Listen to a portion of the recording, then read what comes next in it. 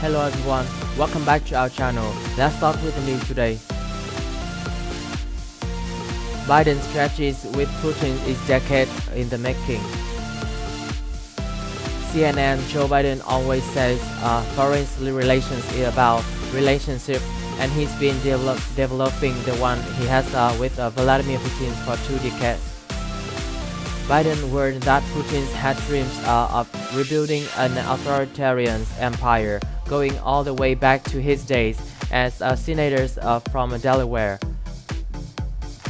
On the campaign trail, he said repeatedly that he knew Putin didn't want to him to win.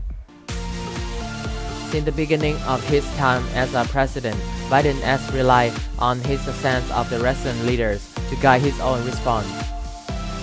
It even, even uh, guided uh, their way Biden's deal with uh, Putin in the conversations, repeatedly interrupting what he and Nate see as a Russian president's strategies are going off uh, on a tangent mean to muddle and uh, undermine, according to a dozen interviews with the White House officials member of Congress and others involved in the effort, Biden has uh, deliberately uh, worked with allies abroad to deny the Russian leaders the one-on-one Washington vs uh, Moscow dynamic that the president and his uh, uh, thing Putin won, publicly and privately talking about the world as a fight for freedom and democracy.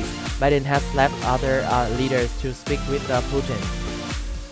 He has moved just uh, deliberately at home to to uh, depoliticize opposi opposition to the invasion of uh, Ukraine so that even among uh, Republicans support for Putin has been forced to the fringe uh, so that uh, verifying that the Russian leaders has become the one major uh, areas of bipartisan agreement uh, since Biden took office.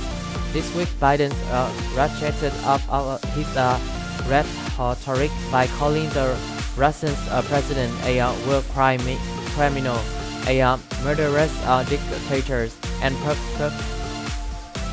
what Biden is trying to do is surrounded and uh, encircle Kiev, said Representative Greg Meeks and Democrats who is chairman of the House Foreign Affairs Committees. What Biden is trying to do is to have the whole world surrounded uh, Putin. Part of the lessons Biden took from being involved as vice president during uh, Putin's 2014 invasion of Crimea was that NATO nations would need uh, a much faster, more humiliating, and a more cohesive uh, response than the month of uh, infighting that produced sanctions so weak that Putin's rolled them out. Yes, uh, administration officials admit uh, privately that if Putin had invaded Ukraine years ago, events might have uh, unfolded much different, differently, coming right after uh, four years of uh, former President Donald Trump damaging relationship and uh, calling NATO obsolete. Campaign in 2020, Biden spoke about the confrontations he saw coming. But Putin has uh, one uh, overriding object to break NATO to uh, weaken the Western alliance and to further diminish our ability to compete in the Pacific by working out uh, something with China. Biden told CNN Gloria Borger at the time, and it's not going to happen on my watch.